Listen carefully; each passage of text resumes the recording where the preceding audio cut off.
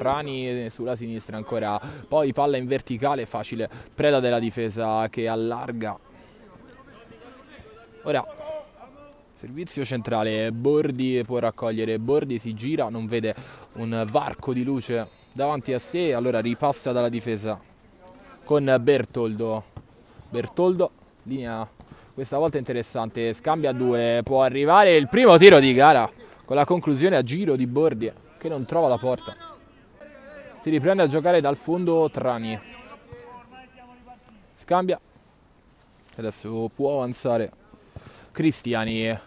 Ancora linea in verticale. Bello il pallone come è stato messo giù da Campi che conclude. Come si è coordinato il numero 11. Ha fatto tutto bene. Prima nell'aggiustarsi il pallone con lo stop a seguire. Poi conclusione affilata sul palo più lontano. Scheggia il palo. Campi.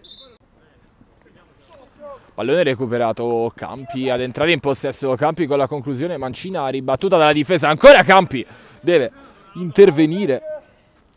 Buona fede terza finta di andare profondo alla fine trova Muraka mette a terra il numero 7 poi prova a eludere la pressione avversaria con il fisico. Muraka di Ponziano linea verticale Ancora Perugia però a serrare le maglie di difesa, a ripartire con Campi. Buono il suo suggerimento in verticale arriva la prima rete di gara con uh, il servizio di Campi per Fratelli. Freddo il numero 10 contro Bonafede a fare 1-0 per i suoi. Di Ponziano con le mani deve volare Falconi. Poi arriva anche la chiusura del primo tempo, Falconi all'ultimo a dir di no alla sortita offensiva del Chelsea, occasione per eh, ristabilire la parità da parte degli ospiti, invece primo tempo allora che si chiude 1-0 per il Perugia. E allora secondo tempo al via con il Chelsea pronto a battere. Dal cerchio di centrocampo, arriva il fischio, si ricomincia Muraka. Tiani non vuole forzare, passa corto da un compagno, Cristiani, verticalizzazione Muraka, capisce le intenzioni, poi pallone velenoso, Falconi deve calciarle più lontano possibile, anche preciso il suo servizio, stava arrivando Andreani a correggere in porta, ma siamo già dall'altra parte, mette a terra in maniera splendida Muraka, Muraka se ne va con il tacco, che giocata del numero 7, conclude sull'esterno della porta, ma che azione questa di Muraka, ha fatto tutto bene, non trova la rete. Calcio di punizione. Perugia pronto a battere ora dall'auto di destra. Profondo il servizio, rimbalza sul palo, poi carambola, buona fede. Praticamente a colpo sicuro era arrivato Fratelli, ma buona fede con un balzo si porta da destra a sinistra e allontana la minaccia. Questa premia comunque il Chelsea. Andreani spedisce il più avanti possibile di Ponziano. Si accentra e fa bene, scambia con Nobili che entra in possesso, Nobili con uh, la suola.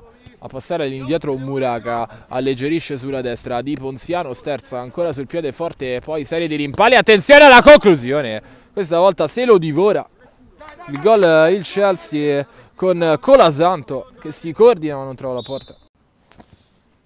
A sinistra Muraka, bel lavoro in fase di impostazione, poi trova Di Ponziano.